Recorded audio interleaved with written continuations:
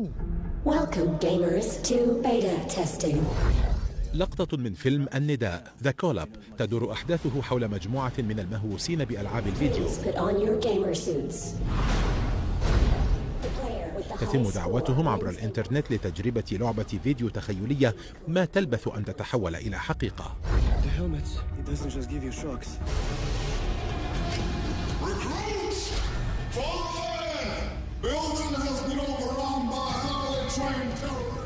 لم يكن ليخطر في بال تشارلز باركر مخرج هذا الفيلم أن ما يحدث في فيلمه The Call Up قد يكون ملهما لشركات صناعة ألعاب الفيديو.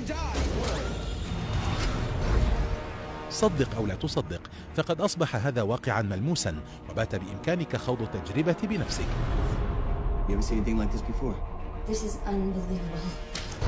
وذلك بفضل تقنية طورتها شركة The Void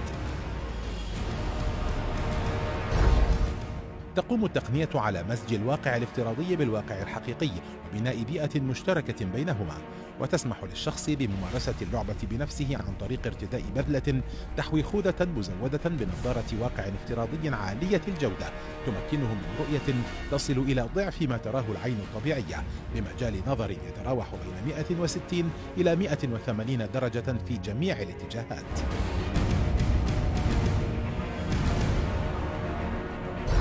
زودت الخوذة أيضا بسماعات عالية الجودة تسمح للاعب بسماع ما يراه في الواقع الافتراضي بشكل متزامن كسماع صوت إطلاق النار أو أصوات الطبيعة ويتم التواصل بين المتنافسين داخل اللعبة عبر ميكروفون خاص. لم ننتهي بعد. فهذه القفازات تمكن اللاعب من رؤية يديه من خلال النظارة بشكل افتراضي. أما هذه السترة فتمنحه التفاعل الحسي والفعلي مع الواقع الافتراضي بفضل نظام استشعار عالي الدقة يحوي معالجات دقيقة تمكنه من مزامنة حركات الجسم مع الواقع الافتراضي وبنفس السرعة.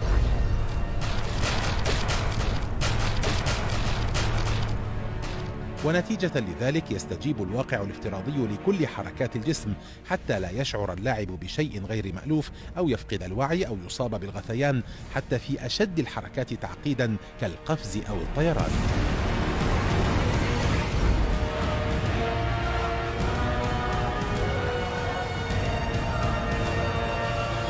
ما يميز هذه التقنية هو قدرتها على جعل اللاعب يشعر بالألم والحرارة وأن يتعامل مع الأشياء التي يراها ليلتقط منها ما يشاء ويتلاعب بما يشاء.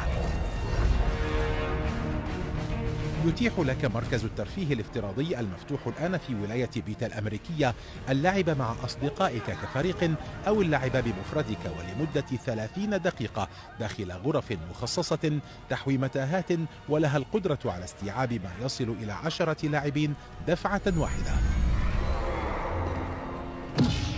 فهل تود أنت أيضا خوض هذه التجربة؟